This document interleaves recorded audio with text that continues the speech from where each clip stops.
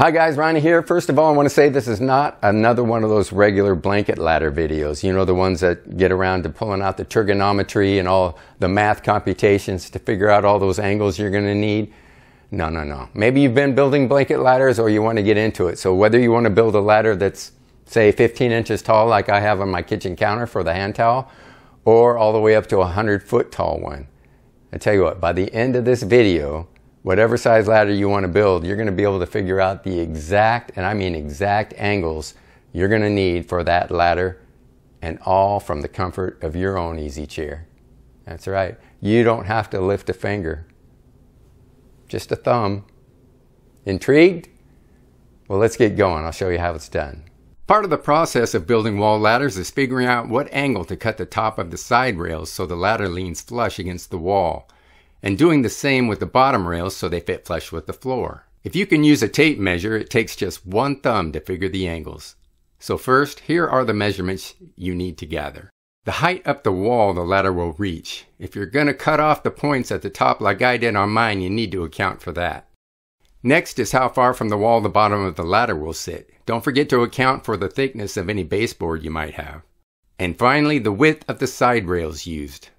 I use 2x4s, so the thickness of mine are 3.5 inches. All right, I've been warming up. Now let me demonstrate with my thumb and my measurements how I figured out the exact angles for my ladder. Let's go.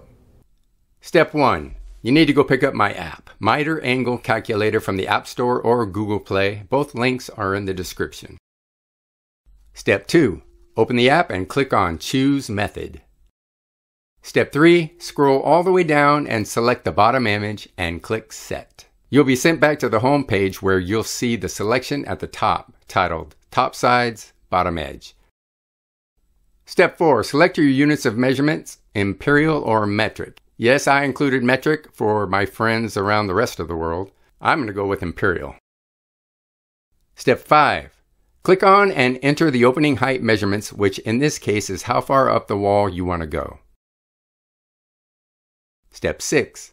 Click and enter the opening width measurements. This is how far from the wall you want the ladder to be. You may be wondering why the fields are listed as opening height and opening width. I built this app for calculating angles for X-bracing on table ends, gates, and doors. In fact, I'll put a card above to a video I have that's the ultimate guide to building X-bracing. But one thing I noticed recently is how this particular orientation can actually be used for calculating angles for ladders as well. If we go back to the orientation option we selected, Imagine a wall on the right side and the floor on the bottom. You can see how this could represent a ladder leaning against the wall, and the two angles needed to make that ladder sit flush. Okay, let's move on. Step 7. Enter the width of the board used for side rails. As mentioned earlier, mine's 3.5 inches. Step 8. Click Calculate. You're now taken to the results page with all of the angles. For the ladder, we are focusing in on these angles shown on the visual representation image. The top angle of what's represented by the wall as the red border is 75.9 degrees. The bottom angle on the floor is 14.1 degrees. When I set my digital angle finder to those degrees, you can see how it lines up with my actual ladder. 75.9 degrees on top, 14.1 degrees on the bottom. Now, some of you may be wondering, how in the heck are you going to get 75.9 degrees? Your miter saw only goes up to 45 or 50. Well, let me show you a little bonus tip on how you can achieve those higher degree angles. All right, here I set my digital angle gauge to 75.9 degrees.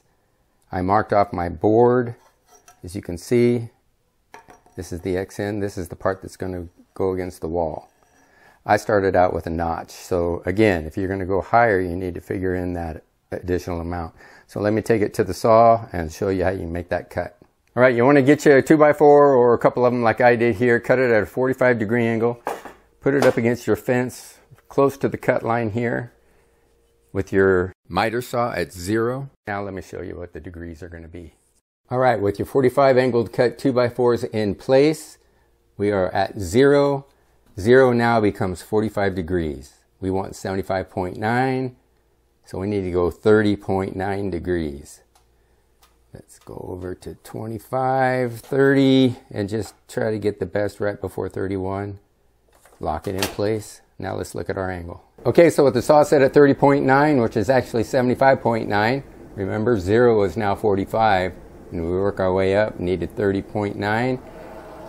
I got the 2x4s clamped down, 45 degree angle, and the saw runs right along the line. And that's how easy it is to get those steep mitered cuts. Hey, I bet when you woke up this morning, you had no idea how much you could actually get done by sitting in an easy chair, maybe sipping a little sweet tea with just a phone and a thumb. It's amazing. I'll catch you next time.